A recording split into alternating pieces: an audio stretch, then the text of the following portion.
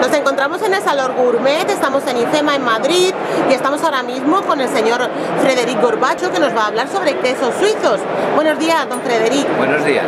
Explíqueme un poco cuál es su empresa, qué es lo que hacéis y qué es lo que representa. Bueno, nosotros lo que hacemos es la promoción y divulgación de los quesos de Suiza en España y Portugal. Para ello disponemos de muchos productos, de muchos quesos, aunque en Suiza tenemos 430 quesos diferentes, hoy vamos a hablar solo de 6, porque si no sería muy No tendríamos tiempo, no tendríamos tiempo, no tendríamos tiempo. Solamente seis variedades son las que el, el consumidor español eh, le resultan interesantes le gustan a su paladar. ¿O son las que ustedes han seleccionado para este mercado? No, somos la que- las que hemos seleccionado para, para este evento, para esta feria, pero aparte eh, podemos conseguir evidentemente muchísimas más. Pero vamos a hablar de las más importantes. Vale, perfecto. Empiece nombrándomelas. Bueno, vamos a empezar por variedades e incluso por sabores, ¿no? Vale. Vamos a empezar por el queso Emmentaler, que es este de aquí. Este es el queso de mental. Este, el queso Emmentaler. El queso Emmentaler es un queso que tiene agujeros, mal llamado gru- gruyère, Sí, sí, sí, sí. ¿eh? mal llamado gruyère, y es un queso que eh, no tiene prácticamente eh, sal, tiene un 0,5% de sal común y es muy suave. Es un queso muy, ¿cómo diría? Un queso excelente para los niños, por ejemplo. Vale, el queso mental es exactamente para hacer el bocadillo de los niños, para las madres cuando hacen la merienda. Bueno, tampoco. Eh, Es un queso para acompañar con Es ensalada. un queso que podemos Para postre. Con ensalada, como postre, Para- como mm, para gratinar también, ¿no? ¿El elemental se puede poner para una cata de vinos, por ejemplo, o sí, no? claro. ¿Así? Todos los quesos se pueden poner para una cata de vinos. Es que el queso Luego- va muy bien con todo, Claro, Frederic. luego veremos qué vino le va bien con él o no. Perfecto. Evidentemente con un queso mental, un queso suave, un queso eh, sin sal prácticamente como comentado.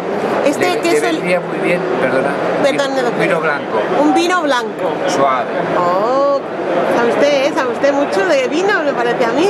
Bueno, tampoco no es eso. Más de quesos que de vino. Más de queso que de vino.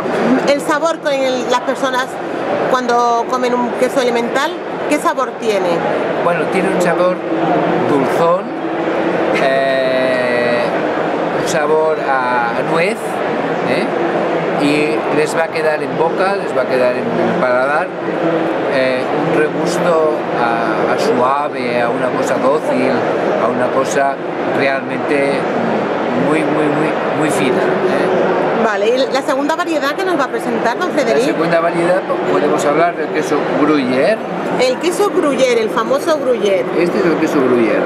Este es el queso que eh, muchas veces confundimos con el queso Emmentaler. ¿eh? Es que se parece mucho, don Frederic. Sí, pero no tiene agujeros, no tiene ojos. ah, vale, vale, vale, vale. El queso Emmentaler tiene ojos, es un queso, me permites que, que rebobine un poco para Sí, atrás. por supuesto. El queso Emmentaler es un queso que tiene ojos, es unas ruedas de 120 kilos de, de peso y el queso Gruyère no tiene ojos y tiene 45 kilos de peso. Hay una diferencia, mucha diferencia.